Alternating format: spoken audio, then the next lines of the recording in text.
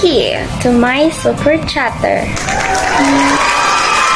Thank you for sharing your blessings. Okay.